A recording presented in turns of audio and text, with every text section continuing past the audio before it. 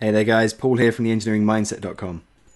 In this video, we're going to be looking at the basics of absorption chillers and learning how they work. Now an absorption chiller is different to other chillers because it doesn't have a compressor. Instead, it uses heat to generate cooling. Now that might seem a little confusing, but don't worry, by the end of this video you'll understand why and how that works. Another interesting point to note about absorption chillers is that they don't use conventional refrigerants such as R134A or R22. Instead, they use water as a refrigerant. And this water is mixed with either ammonia or lithium bromide. Lithium bromide is the more common version, and that's because it's safer and non-toxic. So we're going to be looking at how the water uh, lithium bromide type chillers will work in this video but essentially they're very similar. Now if this is a subject that interests you then I highly encourage you to check out our other videos and we've got other videos explaining how water cooled chillers work as well as air cooled chillers. So do check out some of these videos. So just before we go in and start to look at how the inside of, of an absorption chiller works, I need you to understand three important concepts for the basic operation of how these type of chillers work. The first point is that when we boil water, it changes states from liquid to vapor. Now the water boils at different temperatures under different pressures.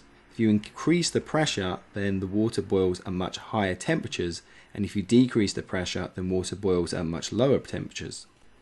For example, we're used to water boiling at around 100 degrees Celsius, 212 degrees Fahrenheit, and that's because we're at atmospheric pressure, uh, which is around 101 kPa or 14.7 psi.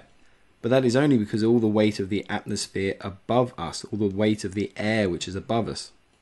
If we went higher up into the atmosphere, say to the top of Mount Everest, where the atmosphere is much thinner, uh, then we would see boil, uh, water would boil at around 70 degrees Celsius, 150 degrees, 58 degrees Fahrenheit, and that's because the atmospheric pressure is around 34 kPa, 4.9 psi.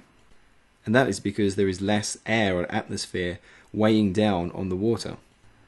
So in the absorption chiller, in the evaporator and the absorber chamber, we're going to have a chamber pressure, a very, very low pressure in there, almost, almost near vacuum, so we're going to have a low pressure of about 0.84 kPa, or which is about 0.12 psia.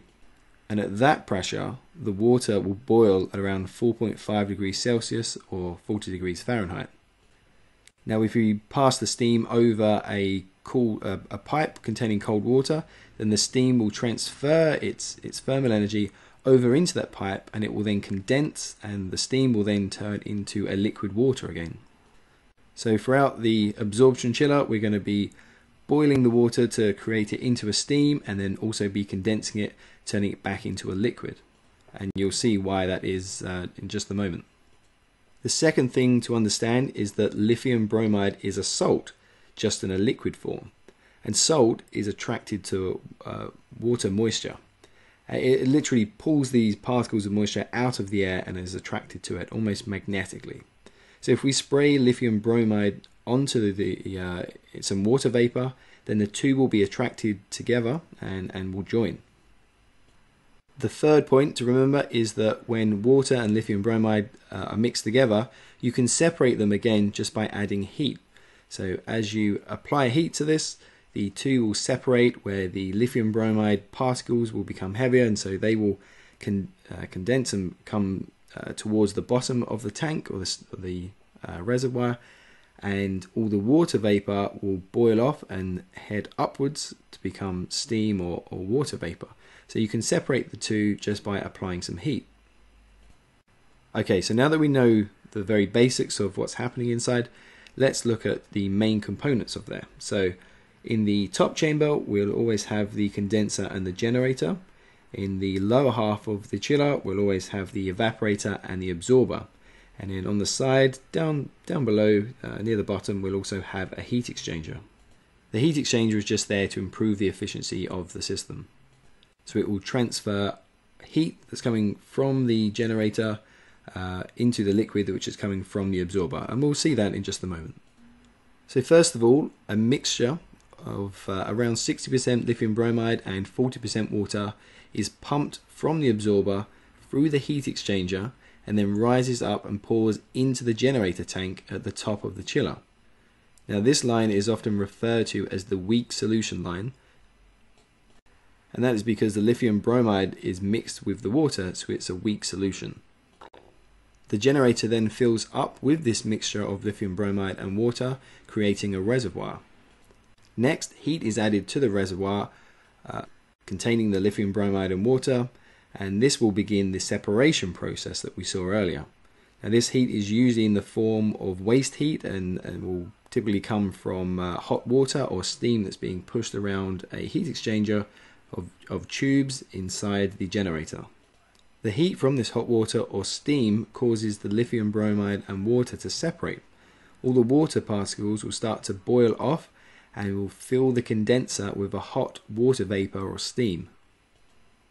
Then the heavy lithium bromide particles will sink to the bottom and form a concentrated liquid. This hot liquid flows down to the heat exchanger where it transfers its heat uh, into the weak solution line running in counterflow. Once the concentrated lithium bromide liquid has cooled down, it makes its way to the absorber where it is sprayed onto the chamber and will mix with the water before again being pumped to the generator to repeat the loop. But we will look at this part in, uh, in more detail in just a minute. Next we want to condense the hot water vapor in the condenser to bring it back to a liquid.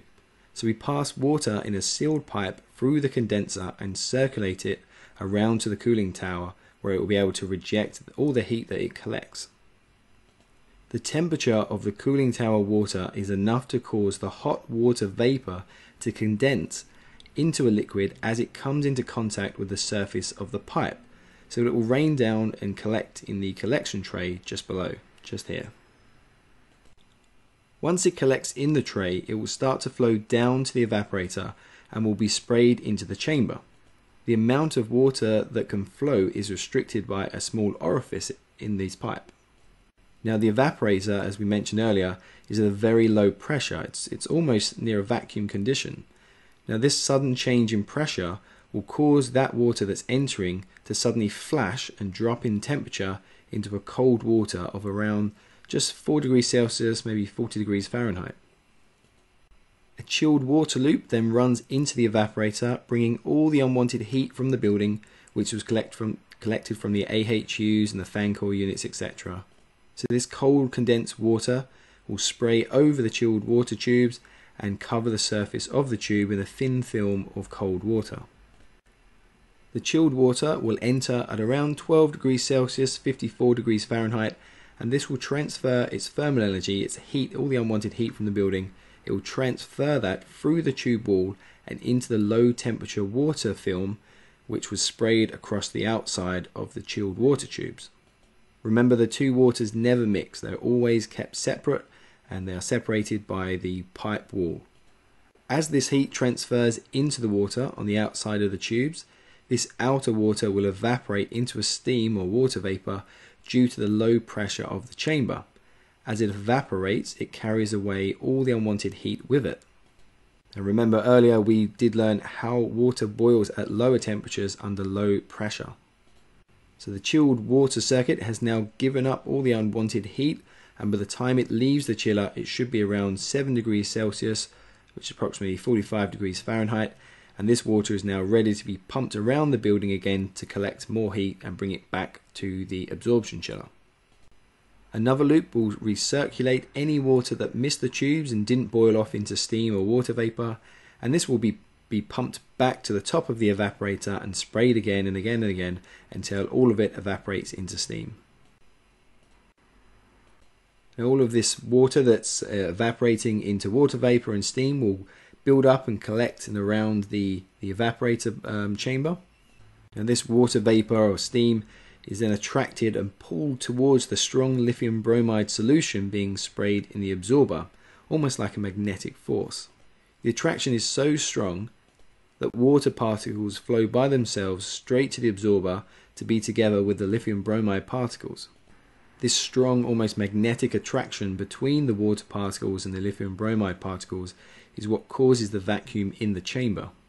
The lithium bromide uh, attraction for the water is so strong that it will pull the water particles inside its own fluid and it will all mix together.